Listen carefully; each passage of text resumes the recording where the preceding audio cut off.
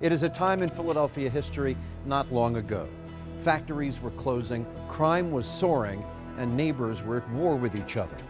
It is a time largely defined by one man, Frank Rizzo. Powerful yet polarizing, Rizzo fought to restore order but made enemies along the way. I'm Jim Gardner. Join us for The Fight, the next chapter of Philadelphia, The Great Experiment, Thursday at 7:30 only on 6 ABC.